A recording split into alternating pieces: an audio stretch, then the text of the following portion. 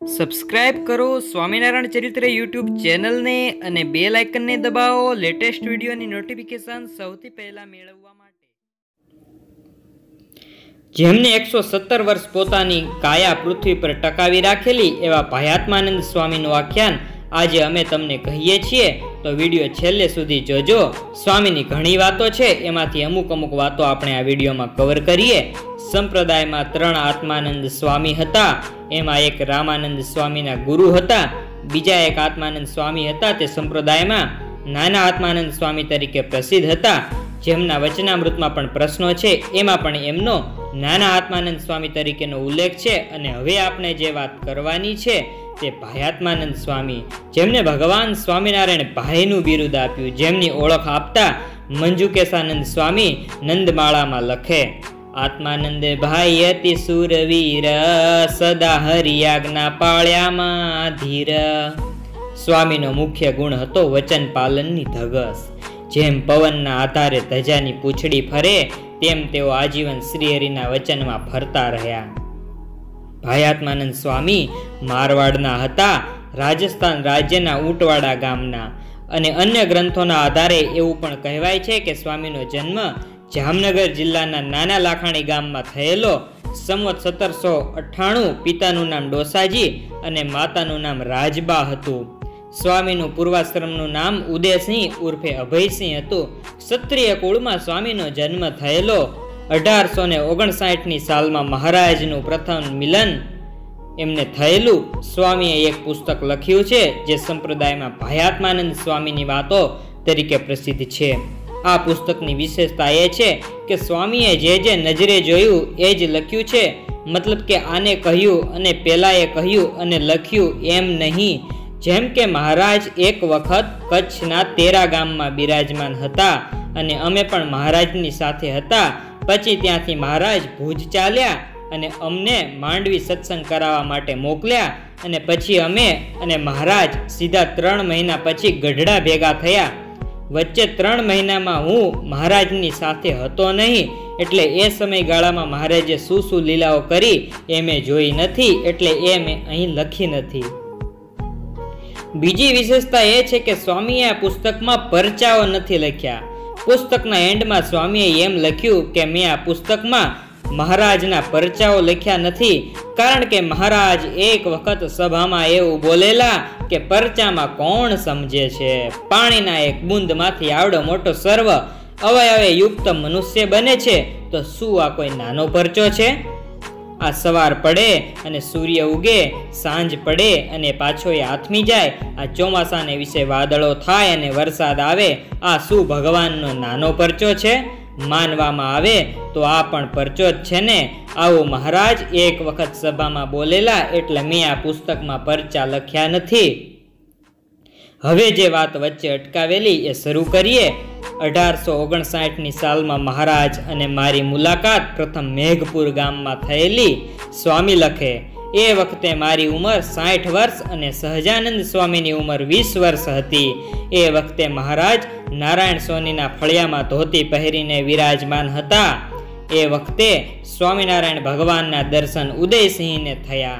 અને ઉદયસિંહે સ્વામિનારાયણ ભગવાનના ચરણોમાં માથું ટેકવી દીધું. એ વખતે સમાધિ પ્રકરણ ખરેખરું ચાલતું હતું. આ મિલનની વાતો સ્વામીએ ઘણી લખી છે. એક વખત ભાયાત્માનંદ સ્વામી મહારાજના દર્શન કરતા હતા.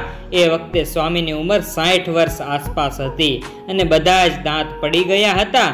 એ જોઈ મહારાજે કહ્યું કે અત્યારથી દાંત પડી ગયા એ સારું ના કહેવાય.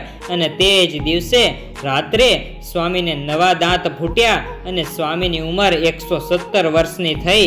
ત્યાં સુધી એવા ને એવા દાંત રહેલા.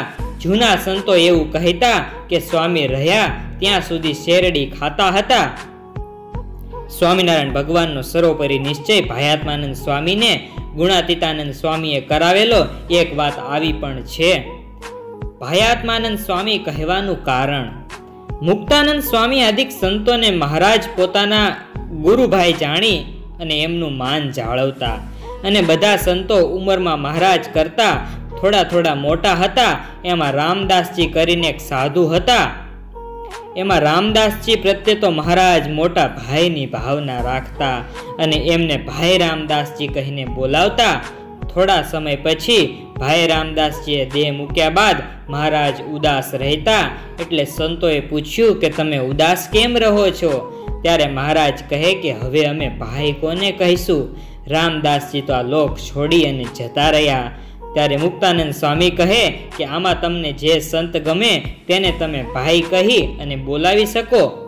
ત્યારે મહારાજા વયોવૃદ્ધ એવા મોટા આત્માનંદ સ્વામીને પ્રેમથી ભાઈ આત્માનંદ સ્વામી કહીને બોલાવ્યા, ત્યારથી સંપ્રદાયમાં તે ભાઈ આત્માનંદ સ્વામી તરીકે ઓળખાય છે.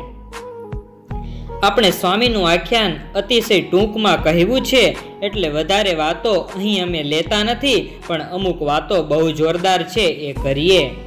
એક વખત મહારાજે સભામાં કહ્યું કે ખાણ ગામ સત્સંગ કરાવવા કોણ જાશે? માઉન્ટ આબુની તળેટીમાં બ્રહ્માનંદ સ્વામીનું પૂર્વાશ્રમનું ગામ અને એ જ વખતે સભામાં ભાયાત્માનંદ સ્વામી ઊભા થયા.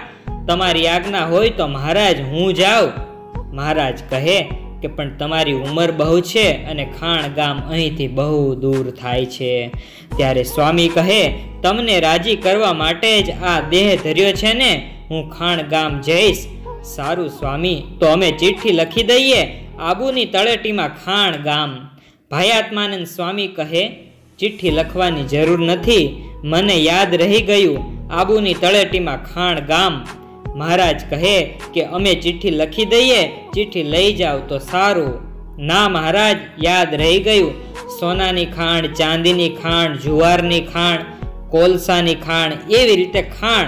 એમાં ચિઠ્ઠીની શું જરૂર? પછી મહારાજની આજ્ઞા લઈ અને છ સંતોનું મંડળ ખાણ ગામ જવા રવાના થયું. વચ્ચે કેટલેક દિવસે સિદ્ધપુર આવ્યું, ત્યારે જોળી માગવાની તાણ પડી, એટલે બાકીના ચાર સંતોને ગઢડા પાછા મોકલી દીધા અને ગોવિંદાનંદ સ્વામી અને ભાયાત્માનંદ સ્વામી આ બે સંતો ખાણ ગામ જવા રવાના થયા. રસ્તામાં ચાલતા જાય છે. ભજન કરતા જાય છે. વચ્ચે કોઈ મુમુક્ષ મળે તો એને ઉપદેશ દેતા જાય છે. ક્યાંક ક્યાંક સદાવ્રત મળે, ક્યાંક નથી મળતું. આમ કરતા આબુ પર્વત ઓળંગી ગયા અને સિરોહી ગામના માર્ગે ચડ્યા. જવાનું હતું આમ રેવદળ બાજુ અને સિરોહીના માર્ગ પર ચડી ગયા. આગળ જતા એક ગામ આવ્યું. પછી ભાયાત્માનંદ સ્વામી કહે, ગોવિંદાનંદ સ્વામી, આપણે ક્યાં ગામ જવાનું છે? ત્યારે સ્વામી કહે, મને ક્યાં ખબર છે? મહારાજ ચિઠ્ઠી લખવાનું કહેતા પણ આપણે ના પાડી. બંને સંતો બેઠા બેઠા વિચારે છે કે કયા ગામ જવું. ગામનું નામ ભૂલાઈ ગયું. એવામાં ભગવા કપડાધારી બાવા આવ્યા અને કહે કે જમ્યા છો કે ભૂખ્યા છો? સ્વામી કહે, ભૂખ્યા છીએ. આમ સદાવ્રત આપે છે જાવ જલ્દી, નહીતર એ પણ પૂરું થઈ જશે. પછી સંતોએ વિચાર્યું કે ગામ પછી શોધીશું. પહેલાં સદાવ્રત લઈ લઈએ. અને સદાવ્રતમાં લોટ લીધો, પછી એક પાણી ગાળવાના ગરણામાં લોટને બાંધ્યો. અને આજુબાજુમાંથી થોડા લાકડા શોધી અને અગ્નિ કર્યો અને એમાં ઝાડ નીચે બેઠેલા એ ઝાડ ઉપર મધપૂડો હતો અને ધુમાડો થયો એટલે મધની માખો ઉડી અને આ બે સંતો પાછળ પડી એટલે સંતો ભાગ્યા અને એક નદીમાં સંતાઈ ગયા. થોડીક વાર થઈ એટલે મધમાખીઓ જતી રહી, પછી સંતો બહાર નીકળ્યા ત્યાં જઈને જોયું, ત્યાં કાગડા ને કૂતરા લોટ ખાઈ ગયા. સંતો કહે કે, ભારે કરી, હવે શું કરવું? ચાર દિવસથી અન્ન કેવું છે? આ સંતોએ જોયું નથી. અને ત્યાં વિપ્રનો વેશ લઈ અને મહારાજ પધાર્યા. અને કહે કે, સંતો ક્યાંથી આવો છો? સંતો કહે કે, અમે સ્વામિનારાયણના સાધુ છીએ. અને ગઢપુર ગુજરાતમાંથી આવીએ છીએ અને ક્યાં જવાનું એ ગામનું નામ અમે ભૂલી ગયા છીએ. અમારા મહારાજે કહ્યું કે ચિઠ્ઠી લખી દઈએ પણ અમે ના પાડી. હવે હેરાન બહુ થઈએ છીએ.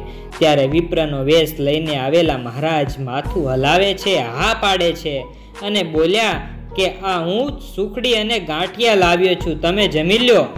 પછી આપણે વાતો કરીએ, હું અહીં રાજસ્થાનનો ભોમ્યો છું.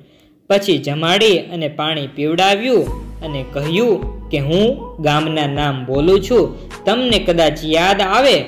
પછી વિપરાના વેશે આવેલા મહારાજ નામ બોલ્યા બધા આજુબાજુના ગામના. એટલે સીધું તો કાંઈ ખાણ બોલાય નહીં, પછી થોડાક નામ બોલી અને કહે કે ખાણ? ત્યારે ભાયાત્માનંદ સ્વામી કહે કે હા, બસ, ખાણ પાકું.